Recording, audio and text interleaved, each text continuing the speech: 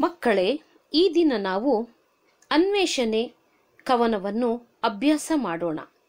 ಬರೆದವರು G S Shivarudrappa. ಕೃತಿಕಾರರ ಪರಿಚಯ doctor G S Shivarudrappa ಅವರು ಸಾವಿರದ ಒಂಬೈನೂರ ಇಪ್ಪತ್ತಾರರಲ್ಲಿ ಶಿವಮೊಗ್ಗ ಜಿಲ್ಲೆ ಶಿಕಾರಿಪುರ ತಾಲೂಕಿನ ಈಸೂರು ಎಂಬ ಗ್ರಾಮದಲ್ಲಿ ಜನಿಸಿದರು. ಮೈಸೂರು ಉಸ್ಮಾನಿಯಾ ಹಾಗೂ ಬೆಂಗಳೂರು ವಿಶ್ವವಿದ್ಯಾನಿಲಯಗಳಲ್ಲಿ ಕನ್ನಡ ಪ್ರಾಧ್ಯಾಪಕರಾಗಿ ಸೇವೆ ಸಲ್ಲಿಸಿದ್ದಾರೆ. ಇವರು ಕವಿಯಾಗಿ, ವಿಮರ್ಶಕರಾಗಿ ಪ್ರಸಿದ್ಧರಾಗಿದ್ದಾರೆ. ಸೌಂದರ್ಯ ಸಮೀಕ್ಷೆ, ದೀಪದ ಹೆಜ್ಜೆ, ಸಾಮಗಾನ, ಕಾರ್ತೀಕ, ಅನಾವರಣ, ಚೆಲುವು, ಒಲವು, ಗೋಡೆ, ತೆರೆದ ದಾರಿ, ಮಾಸ್ಕೋದಲ್ಲಿ ಇಪ್ಪತ್ತೆರಡು ದಿನಗಳು, ಕಾವ್ಯಾರ್ಥ ಚಿಂತನ, ಇನ್ನು ಮುಂತಾದವು ಇವರ ಪ್ರಮುಖ ಕೃತಿಗಳು. ಕಾವ್ಯಾರ್ಥ ಚಿಂತನ ಕೃತಿಗೆ ಕೇಂದ್ರ ಸಾಹಿತ್ಯ ಅಕಾಡೆಮಿ ಪ್ರಶಸ್ತಿ ಲಭಿಸಿದೆ. ಜೊತೆಗೆ ಪಂಪ ಪ್ರಶಸ್ತಿ, ನೃಪತುಂಗ ಪ್ರಶಸ್ತಿ ಹಾಗೂ ರಾಷ್ಟ್ರಕವಿ ಬಿರುದನ್ನು ಪಡೆದಿದ್ದಾರೆ. ಇವರು ಸಾವಿರದ ಒಂಬೈನೂರ ತೊಂಬತ್ತೆರಡರಲ್ಲಿ ದಾವಣಗೆರೆಯಲ್ಲಿ ನಡೆದ ಅರವತ್ತೊಂದನೆಯ ಅಖಿಲ ಭಾರತ ಕನ್ನಡ ಸಾಹಿತ್ಯ ಸಮ್ಮೇಳನದ ಅಧ್ಯಕ್ಷರೂ ಆಗಿದ್ದರು. ಇವರು ಎರಡು ಸಾವಿರದ ಹದಿಮೂರರಲ್ಲಿ ನಿಧನರಾದರು. ಪ್ರಸ್ತುತ ಅನ್ವೇಷಣೆ ಕವಿತೆಯನ್ನು ಅವರ ಗೋಡೆ ಕವನ ಸಂಕಲನದಿಂದ ಆಯ್ಕೆ ಮಾಡಲಾಗಿದೆ. ಪಾಠ ಪ್ರವೇಶ.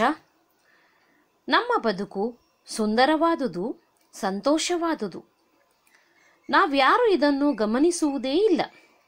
ಸುಖ ಸಂತೋಷಕ್ಕಾಗಿ, ಕಷ್ಟ ಪರಿಹಾರಕ್ಕಾಗಿ ಯಾರನ್ನೋ ಕೇಳುತ್ತೇವೆ, ದೇವರನ್ನು ಬೇಡುತ್ತೇವೆ. ಏನನ್ನೋ ಕೊಟ್ಟು ಅಥವಾ ಬಲಿ ನೀಡಿ ಸುಖಕ್ಕಾಗಿ ಹುಡುಕಾಡುತ್ತೇವೆ. ಸುಖದ ಮೂಲ ಎಲ್ಲಿದೆ ಎಂಬುದನ್ನು ಚರ್ಚಿಸಿರಿ. ಬೆಲ್ಲದ ರುಚಿ ಹೇಗಿದೆ ಎಂದರೆ ಸಿಹಿ ಇದೆ ಎನ್ನುತ್ತೀರಿ. ಅದು ಹೇಗೆ ಗೊತ್ತಾಯಿತು ಎಂಬ ಪ್ರಶ್ನೆಗೆ ನಾನೇ ತಿಂದು ರುಚಿ ಅನುಭವಿಸಿದೆ ಎಂದು ಹೇಳುವಿರಿ. ನಾನೇ ಬೆಲ್ಲ ತಿಂದಂತೆ ರುಚಿ ಅನುಭವಿಸಿದಂತೆ ನಮ್ಮ ಕಷ್ಟ ಸುಖಗಳಿಗೆ ನಾವೇ ಜವಾಬ್ದಾರರು. ಅದರ ಮೂಲ ನಮ್ಮಲ್ಲಿದೆ. ಇದನ್ನು ನಾವೇ ಸರಿಮಾಡಿಕೊಳ್ಳಬೇಕು. ನಮಗೆಲ್ಲ ಅತಿ ಅಭಿಮಾನವಿದೆ, ಗರ್ವ ಇದೆ. ನಾನು ಹೇಳಿದ್ದು ಸರಿ ಇದೆ, ನಾನು ಮಾಡಿದ್ದು ಅತ್ಯುತ್ತಮ ಎಂಬ ಕಲ್ಪನೆ ಇದೆ. ಹೀಗಾಗಿ ಇನ್ನೊಬ್ಬರೊಡನೆ ಹಂಚಿಕೊಂಡು, ಹೊಂದಿಕೊಂಡು ಬದುಕದೆ ಕಷ್ಟಪಡುತ್ತೇವೆ, ದುಃಖ ಅನುಭವಿಸುತ್ತೇವೆ. ಆದುದರಿಂದ ಹೊಂದಿಕೊಂಡು ಬೇಕೆನ್ನುವುದೇ ಕವಿಯ ಆಶಯವಾಗಿದೆ. ಎಲ್ಲೋ ಹುಡುಕಿದೆ ಇಲ್ಲದ ದೇವರ ಕಲ್ಲು ಮಣ್ಣುಗಳ ಗುಡಿಯೊಳಗೆ ಇಲ್ಲೇ ಇರುವ ಪ್ರೀತಿ ಸ್ನೇಹಗಳ ಗುರುತಿಸದಾದೆವು ನಮ್ಮೊಳಗೆ. ನಾವು ದೇವರನ್ನು ಕಲ್ಲು ಮಣ್ಣುಗಳ ಗುಡಿಯೊಳಗೆ ಹುಡುಕಬಾರದು. ದೇವರು ಪ್ರೀತಿ ಸ್ನೇಹಗಳ ರೂಪದಲ್ಲಿ ನಮ್ಮಲ್ಲಿಯೇ ಇದ್ದಾನೆ. ಅಂದರೆ ನಾವು ದೇವರ ಮೊರೆ ಹೋಗುವುದು ಕಷ್ಟಗಳ ಪರಿಹಾರಕ್ಕಾಗಿ. ನಾವು ದೇವರನ್ನು ಗುಡಿ ಚರ್ಚು ಮಸೀದಿಗಳಲ್ಲಿ ಹುಡುಕುತ್ತೇವೆ.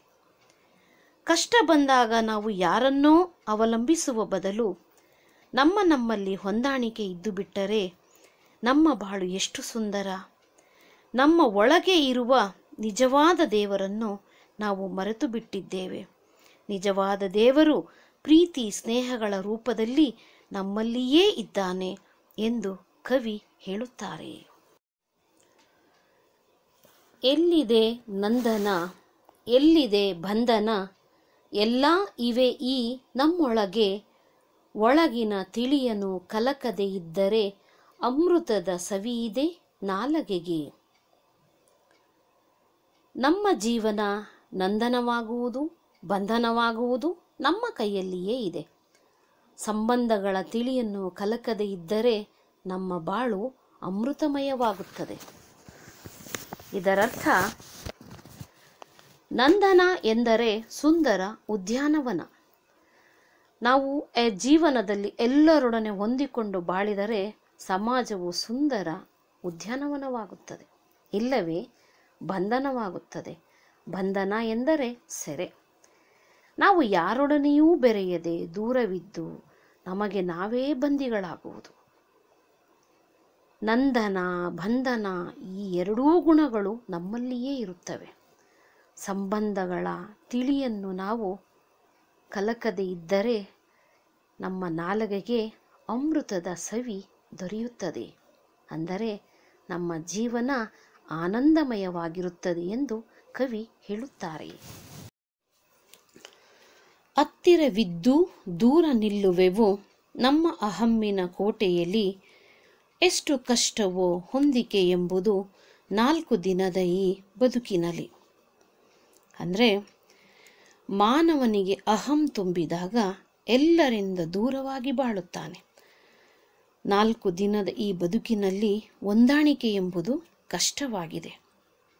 ಅಂದರೆ ಮಾನವನಿಗೆ ಹಣ ಅಂತಸ್ತು ಅಧಿಕಾರಗಳ ಅಹಂ ತುಂಬಿದಾಗ ಅವನು ತನ್ನದೇ ಆದ ಅಹಂಕಾರದ ಕೋಟೆಯನ್ನು ಕಟ್ಟಿಕೊಂಡು ಸಮಾಜದಲ್ಲಿ ದೂರ ಉಳಿಯುತ್ತಾನೆ. ಸುತ್ತಮುತ್ತಲಿನ ಜನರೊಂದಿಗೆ ಬೆರೆಯದೆ ದೂರವಾಗಿ ಬಾಳುತ್ತಾನೆ. ಕೆಲವೇ ಸಮಯದ ಈ ಬದುಕಿನಲ್ಲಿ ಹೊಂದಿಕೊಂಡು ಬಾಳಬೇಕು ಎಂಬುದನ್ನು ಮರೆಯುತ್ತಾನೆ. ನಾಲ್ಕು ದಿನದ ಈ ಜೀವನದಲ್ಲಿ ಹೊಂದಾಣಿಕೆ ಎಂಬುದೇ ಕಷ್ಟವಾಗಿದೆ ಎಂದು ಕವಿ ವಿಷಾದ ವ್ಯಕ್ತಪಡಿಸಿದ್ದಾರೆ.